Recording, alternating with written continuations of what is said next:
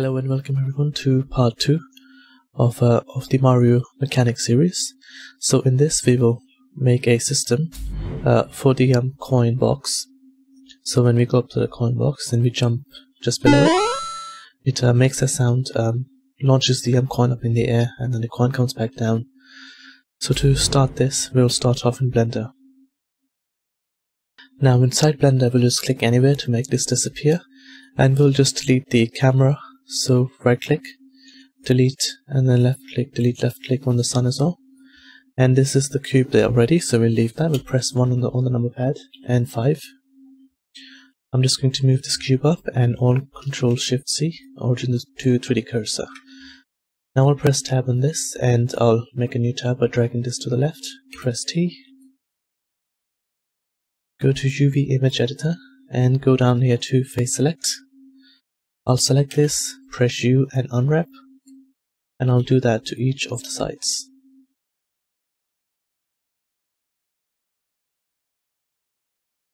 Once I have done this, I'm going to select all of it, go to open.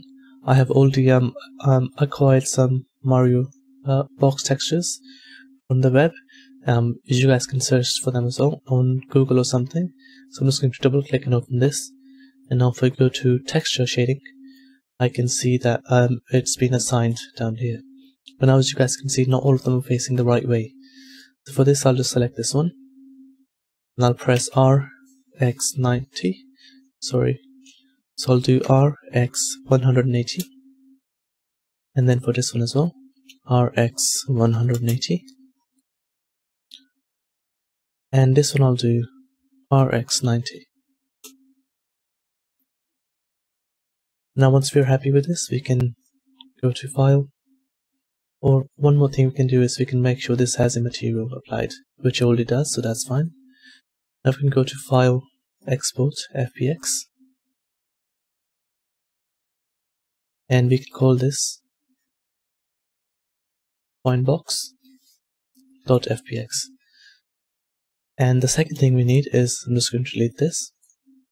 I'm going to make a go to mesh add a circle, press R, X, type 90, enter. I'm going to press tab on this. And go to add select, press E and Y. And then make it about this big. And then selecting all the um, edges on one side, I'll press F to fill that in.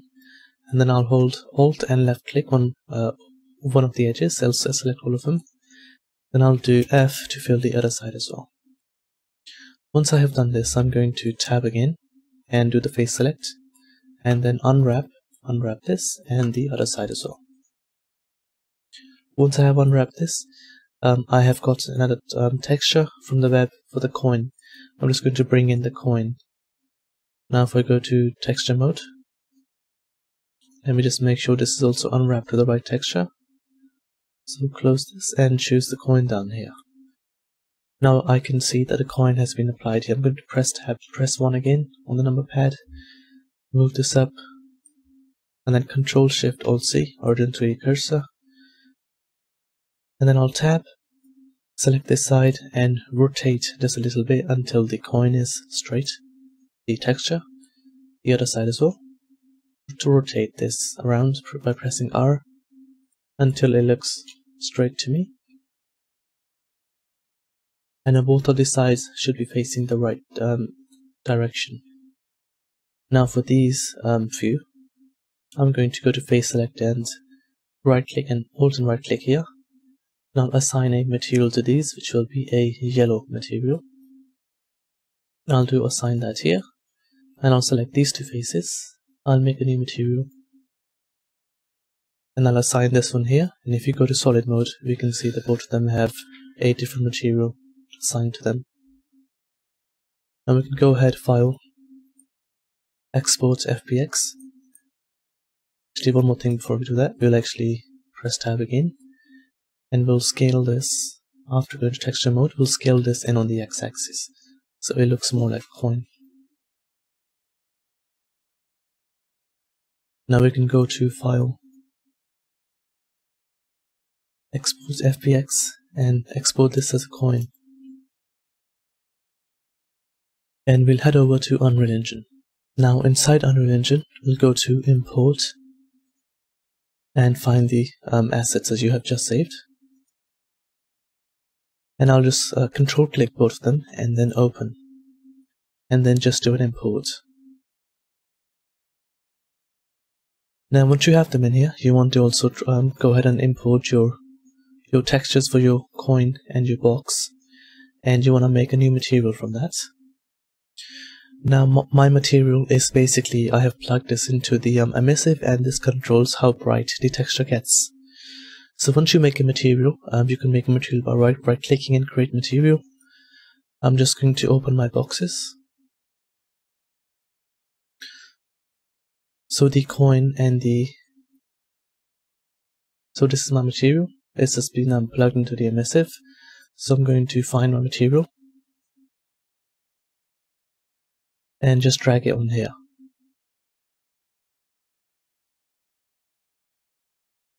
And the, and the one for the coin as well.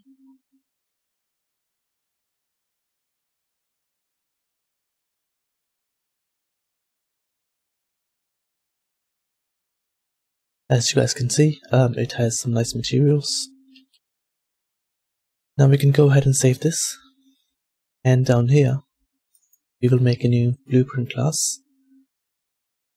We'll choose the actor class and we'll call this BP underscore coinbox.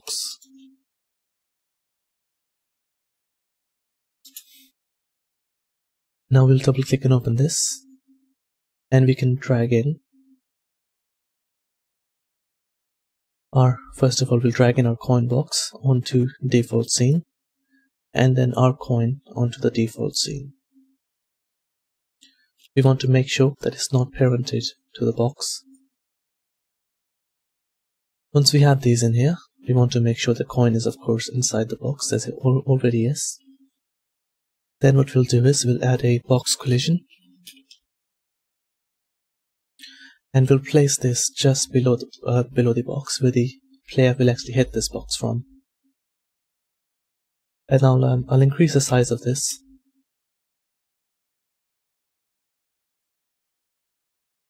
So this size is just fine.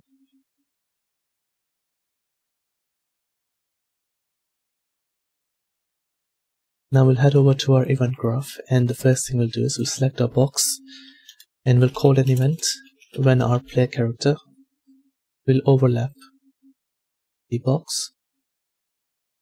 What we want to do is here is we'll um, first of all we'll do for our coin box we'll do add relative location. And we'll add a timeline.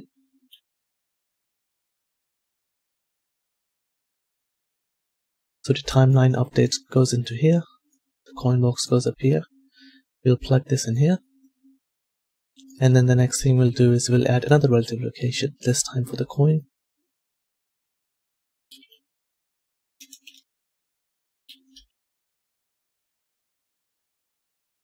and we'll just add in the timeline down here. And we'll connect this here and we'll connect this down here. Now before we work on our timelines one thing um, I'll do is and then after a delay of about so we'll add a delay and a delay of about two seconds what we will do is we will go ahead and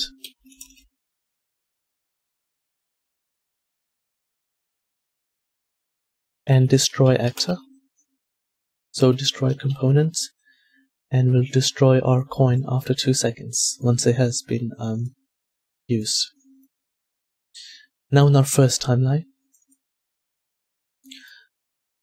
so we'll not a float one, we'll add a, a vector track down here, and we'll uncheck the x and the y, and on the z, so at 0 seconds, we want this to stay at 0, we'll add um, another one, at 1 second, we want the value to be 2,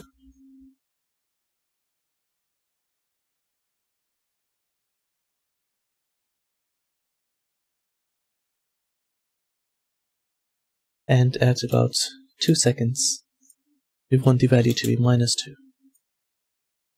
Now if we compile this and we just need to connect our new track to our delta location and for our coin actually for our box I'll reduce the values quite a bit. So I'll do about minus 1 and 1 and then we will open our coin box timeline. We'll add in the vector track here and on the z-axis so at 0 seconds it stays at 0 at 1 seconds we'll do a value of 3 and at 2 seconds we'll do a value of minus 1.5 and the length for this needs to be about 3 should be fine. Now we compile this head back to our graph and we'll do delta location down here. We'll compile this. And one more thing we need to do is once the player hits the box we need to change the material of the box to a used one now I have already made a material for that, which is down here. So this is the texture for that. So all I did is um, I used the same texture as the question mark. I just painted orange everywhere and black in these four spots. So we'll go down here and we'll do set material. On our coin box, so we choose coin box down here. And we'll do.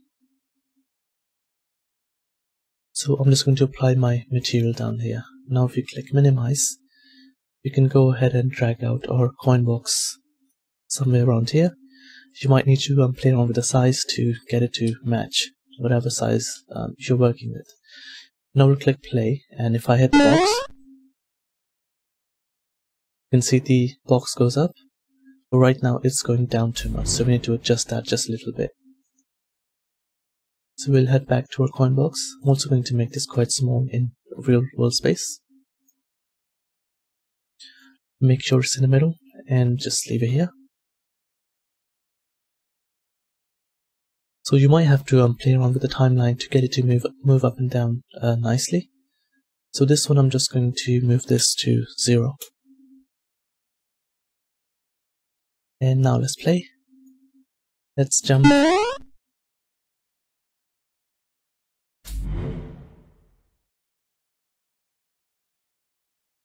So I'm going to make sure my x and y are hidden again. So you just need to play around with these values to reach a value that works for you. So I'll do 0.5 seconds, value of 1, and 1 seconds, value of minus 1. And the whole thing lasts about, let's say, 1 second. Now if I click play, this is a lot better, and the, the coin goes um, up and down as well. So you can play around with the values of these to get it to move up and down the way you want it to. Last thing we'll do is we'll just add a sound as well. So we'll do play sound at location. Sound will be coin, sound effect. And we'll select our default uh, scene root and do get location. So get actor location and connect that down here. Now we compile just going to increase the value of this to so the value of our